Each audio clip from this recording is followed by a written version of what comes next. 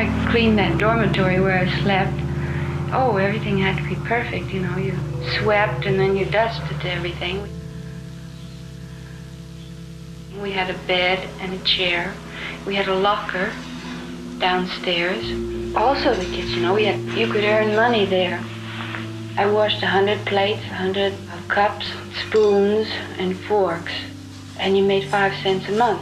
And they took one penny for Sunday school. So you had one penny left. So you hope you can buy your friend or friends some little thing at Christmas.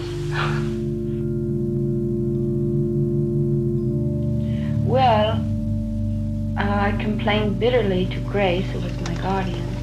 Uh, there were these people who took me for a while.